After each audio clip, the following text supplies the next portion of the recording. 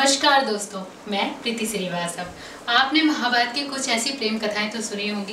कुछ तो प्रसिद्ध हैं और कुछ ऐसी कहानियाँ हैं जिनके बारे में लोगों ने सुना तक नहीं है। तो जानते हैं उस कहानियों के बारे में इस वीडियो के दौरान। नंबर एक भगवान श्री कृष्ण की 16,108 पत्नियाँ थीं जिनके साथ उन्होंने विवाह किया था।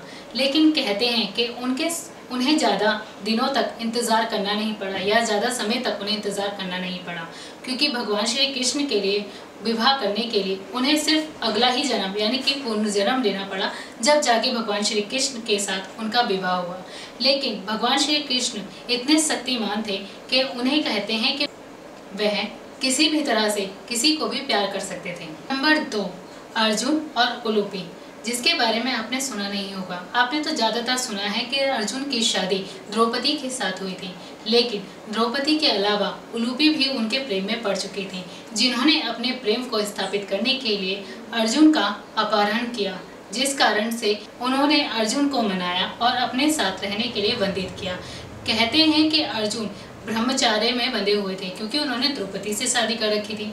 इसलिए वह किसी और से शादी या किसी के ख्यालों के बारे में सोच नहीं सकते थे। लेकिन अंतः उन्हें एक वरदान मिला कि उन्हें वह पानी में कोई नुकसान नहीं पहुँचा सकते।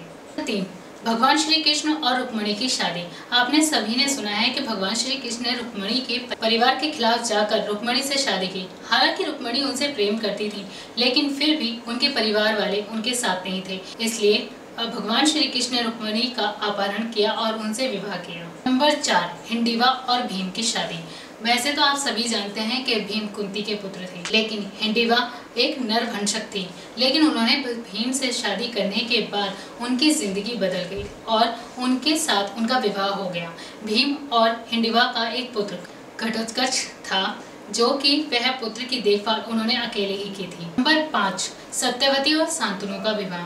कहते हैं कि शांतनु सत्यवती की खुशबू से ज़्यादा प्रभावित हुए थे और उनकी खुशबू का पीछा करते करते नदी के किनारे तक पहुँच गए।